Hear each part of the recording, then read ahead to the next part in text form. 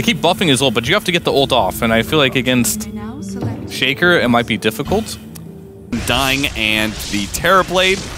Oh, there's our early spin here. Collapse is going to be dying as uh, there's nowhere for him to go to, nowhere to run, nowhere to hide. The chaining off the fissure, the spell does a lot of follow-up damage.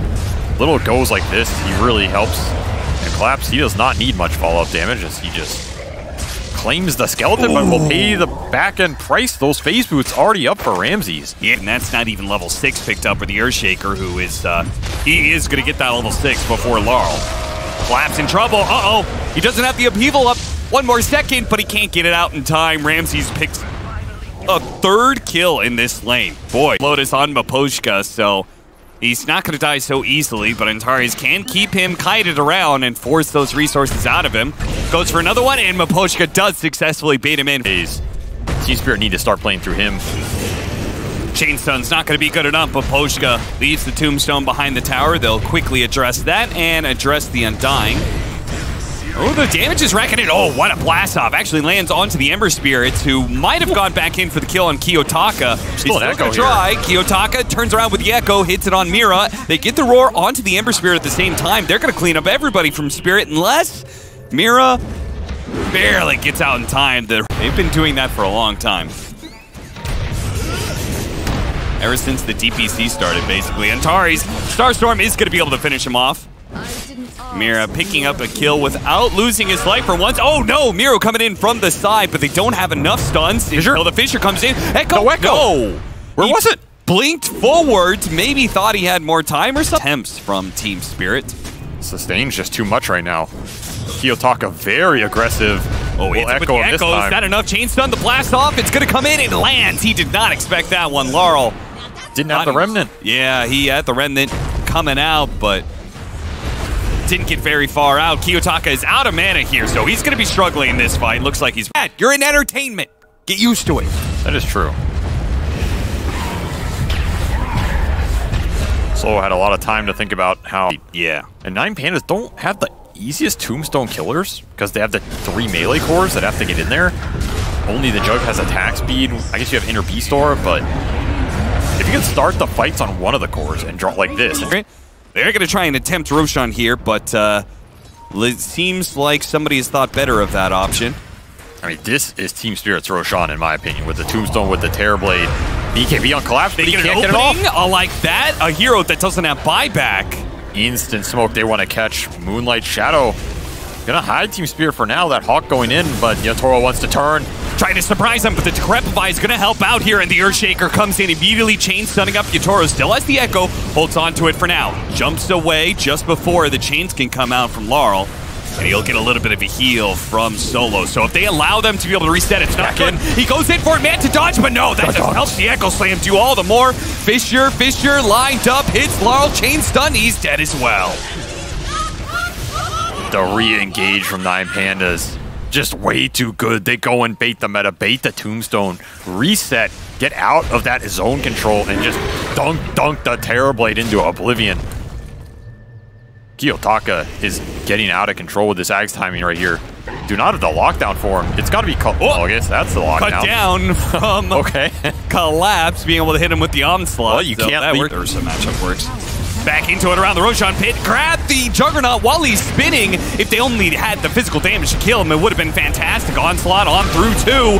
But now he's going to be on the slash once again. And again, Collapse is going to fall to the fury of the blades.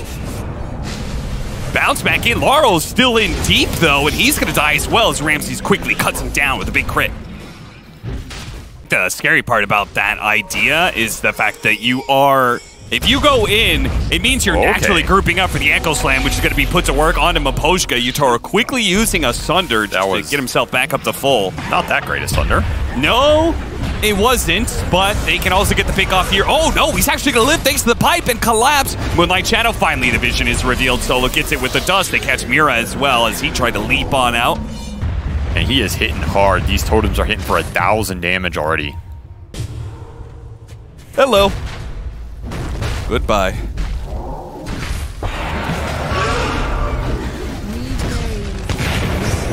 Man, this is a good hero for Kiyotaka because he These, so there is still a chance for them to be able to collapse needs to get hold of Ramzes. the, the base against this Aegis. Really easy Oh, he though found Nine him. Pandas. He found Larl. Larl does manage to get away. That's going to be an Echo Slam used. The Nine Pandas, they want to keep this going without their ultimate.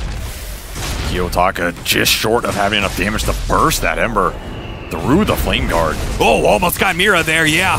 This damage is intense. Fissure onto two, pops BKB. Beware of the arrow. Just walking in. Collapse is going to grab him through his BKB. Nice Primal Roar, but Kiyotaka cannot get far enough away. Larl, oh, he jumped away right as the Omni Slash was on top That top was just of the him. mini. He still has a big one. Ooh, we have the Swift Slash, but the Omni Slash still ready to go. There it is.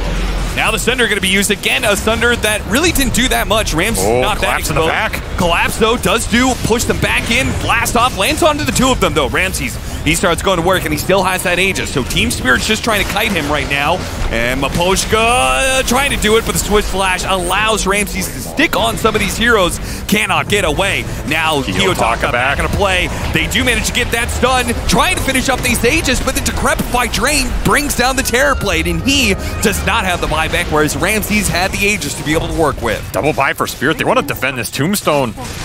Ramzes just walks up, takes it, and there's still a cheese on the shaker. Arrow here. in from the side. That's a nice one. Can they kill him? The blast off goes off, trying to delay some of this damage and collapse. He went for the squishier heroes instead of Ramzes. Godlike. nobody. Up, Larl going in, chains locks him down. Collapse coming back in once again, has his ultimate. Eats the cheese though. That back up ward. to full, and he is pretty damn full. Oh, you know Team Spirit won one of these cores for their trouble, especially the dieback on Kiyotaka would be huge. Just so damn tanky, and these Swift slashes are causing some serious issues. Ramzes, he just a couple hits, and then Swift slash puts you in danger. Both teams committing a lot of buybacks for this push. Nine Pandas want one more lane if they can get it. Solo ball back to give him the sustain. Ramsey still feels untouchable here as he pushes to 10 and 0. Swift slash back up and another corpse for the blade. He is feasting out here. 18,000 net worth lead. And are they going to just try and finish the game? Terrorblade's back up in a second here. This is very bold. Doesn't have meta for 20. But yeah, he, he's still strong if you can connect him and a collapse ultimate. Okay, they're just going to hit. No, maybe. He's pushing this. I mean, your time to go is now if you're Spirit, since some of the Nine Pandas heroes are still far. I mean, he's, he has Omni Slash back up for Ramsey, so maybe he's thinking his Omni Slash is equal to the meta. It's probably better than the meta.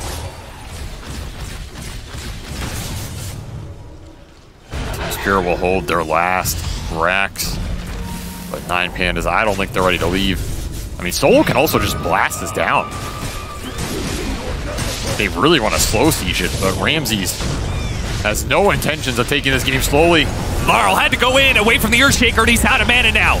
They do manage to grab Miro into the arrow. That lands. Collapse, though, is going to take the full Omni Slash out. Yatoro could do nothing to stop that one. And Yatoro, he can't defend this melee barracks. He has to back up and reset. It's going to be Megas. Just can't hit anybody.